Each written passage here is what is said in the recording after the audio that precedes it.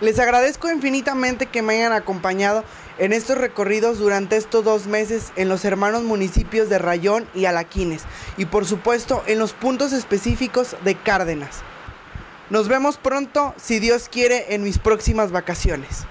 Y como dicen, todos los seres humanos tenemos errores y por supuesto yo no fui la excepción. El cerro trozado fue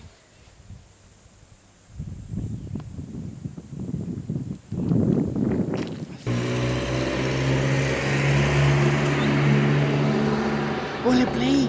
Ya. No. En muchas circunstancias, el Cerro Mocho ha sido.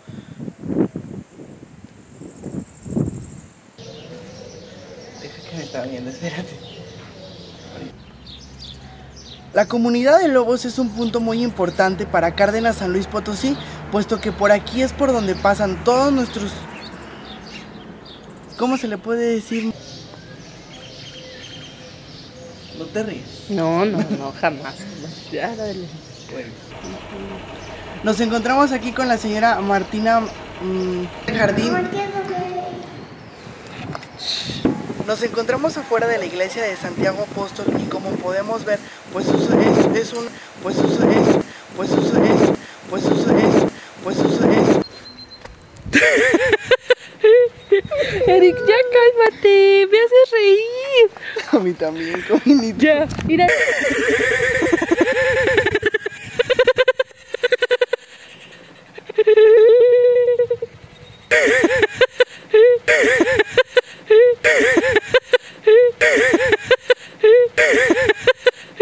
y cardenenses de este.